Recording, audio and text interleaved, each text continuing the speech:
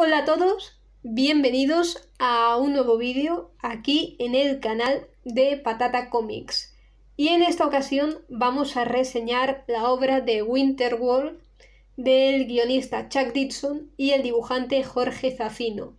Esto ha sido publicado en España por Aleta en una edición en cartoné de 144 páginas por 17,95 pero yo tengo la edición italiana de Cosmo, una edición de bolsillo en rústica, pero a 5 euros. De todos modos, el contenido es exactamente el mismo, el de Winter World del 1 al 3 y Winter Sea, así que para la reseña da igual. Realmente el contenido es exactamente el mismo, no hay diferencias ni cosas así por el estilo. Esto fue publicado hace ya bastantes años, por los 80, por la editorial Eclipse, que puede que a muchos no les suene, pero fue uno de los grandes exponentes del cómic independiente durante la década de los 80. Estuvo viva desde mediados de los 70 hasta principios de los 90 y ahí se publicaron obras como Miracleman, una grandísima aventura de superhéroes muy, muy alabada por el gran público. Y en este TVO nos encontramos la obra de dos grandes titanes del cómic, como pueden ser Chuck Dixon y Jorge Zafino, que por desgracia murió muy joven, pero que consiguió hacer un trabajo espectacular en los pocos años de vida que tiene.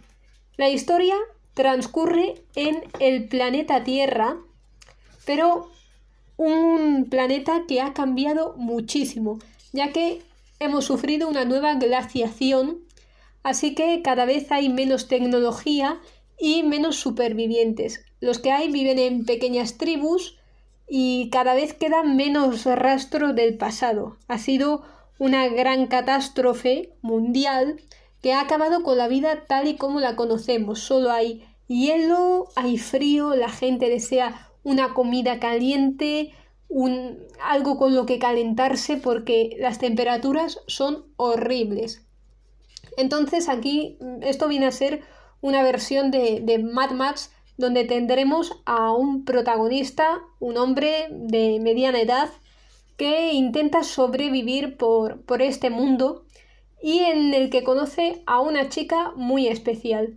Juntos tendrán que escapar primero de una factoría que tiene esclavizados a diferentes seres humanos mientras intentan sobrevivir de mil maneras, porque al final en este mundo que es prácticamente postapocalíptico, la bondad no existe, la gente lucha, mata por sobrevivir, oprime al adversario, hace lo que haga falta por tal de aguantar. Hay esclavistas, hay maltrato, hay penurias, hay hambre. Es una sociedad que está en decadencia. Pero habrá rastros de cierta humanidad gracias a nuestro protagonista. Alguien que sabe moverse por el mundo, que sí guarda compasión hasta hacia esa pobre chavala y que intentará hacer del mundo un lugar mejor a veces por sus propios intereses y en otras ocasiones simplemente porque es un buen hombre que aunque haya tenido una vida dura, sea tosco en modales y demás, pero sí tiene un corazón bastante noble. Y la segunda parte es Winter Sea, que básicamente es eh, la misión de llevar a esta chica, que Scully lleve a esta chica a su poblado, donde tienen una especie de máquinas voladoras, que él al principio piensa que es una, una tontería, pero es un poblado en el que sí se conserva esa tecnología y se van descubriendo secretos familiares de esta chica, como la muerte de sus padres y de la tribu que gobierna su abuelo, un abuelo que esconde muchos secretos. Así que, aunque él decide dejarla en su hogar, y es expulsado de, de este asentamiento, decide volver cuando una tribu de caníbales, porque sí, vivimos en un mundo ya tan depravado que hasta habitan los caníbales, decide invadir el fuerte para poder alimentarse de otros seres humanos. Así que Scully decidirá ayudar, echar una mano y acabar con estos invasores. Esto es una colección, es un título muy interesante que tiene una atmósfera sublime que, que lo que se consigue aquí es maravilloso. Nos muestra lo peor del ser humano y a la vez también la compasión que puede haber en ciertos momentos. Consigue crear un universo estupendo con toques bastante realistas. Es una obra humana de, de aventuras, porque esto es una aventura al fin y al cabo, aunque con un tono algo depresivo. La construcción del personaje principal es sublime, es la del típico héroe oscuro, tosco en modales, pero que alberga, como ya he dicho antes, un corazón dorado. Pero lo más destacable, sin lugar a dudas, es el talento que demuestra aquí Jorge Zafino con estas viñetas en blanco y negro que también sirven para construir y crear esta historia.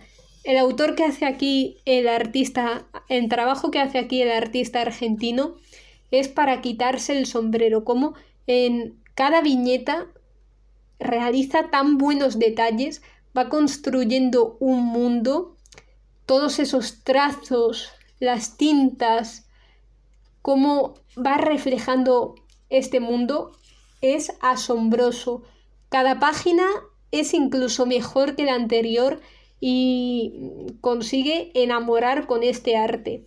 No sabremos hasta dónde hubiera llegado este hombre si no hubiera muerto de forma tan prematura, pero siempre nos quedará el legado de su gran labor artística. Como veis, es para enmarcar. Es un tebeazo que yo recomiendo muchísimo, ya sea la edición de Aleta o alguna de otro país. Yo la he leído en italiano porque lo entiendo pero da igual en qué idioma lo leáis, en qué edición, si es de bolsillo, si es en cartoné, lo importante es poder disfrutar de este cómic que también te transporta a este mundo nevado postapocalíptico y va creando diferentes situaciones de cómo la humanidad intenta sobrevivir, aunque a veces de la forma más cruel, porque al fin y al cabo los humanos somos seres crueles, interesados, que machacamos al contrario si hace falta, y que en los momentos donde más unidad debería haber para sobrevivir es cuando más destacamos este individualismo. Scully es un grandísimo personaje, también conocemos a Rara, el, el perrete que le acompaña, que es un encanto, me encanta, el mejor ayudante que se puede tener, y a esta chica que que ablandará el corazón de Scully. Esta Win que viene de, un poblado que puede llegar a parecer que es de ciencia ficción, pero realmente es un mundo un poco más parecido a como es nuestra vida antes de, de este desastre posapocalíptico. Un título bastante invernal que, que yo recomiendo incluso leer en verano, yo me lo leí en verano es más, estoy grabando este vídeo en verano, lo que pasa es que como tengo tantos acumulados lo vais a ver en enero.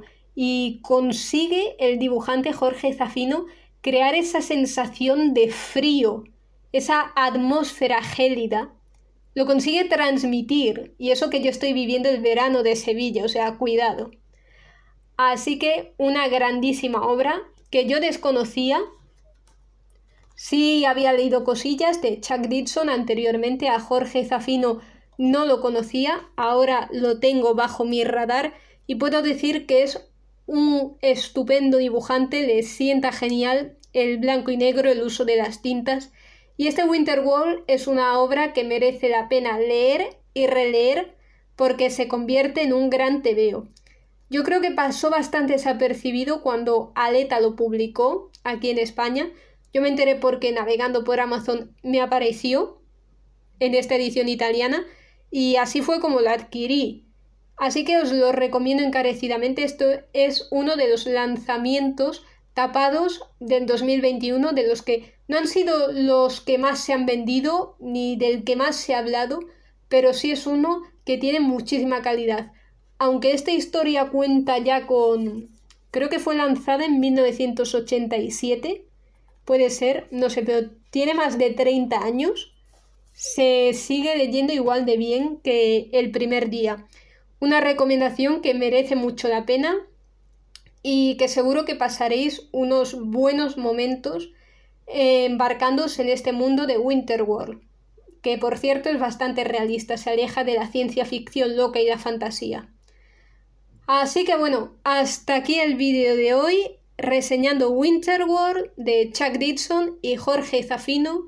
Espero que os haya gustado y nos vemos el próximo día con más vídeos, más cómics y más contenido aquí en el canal de Patata Comics. Un saludo a todos, que paséis un buen día y hasta la próxima.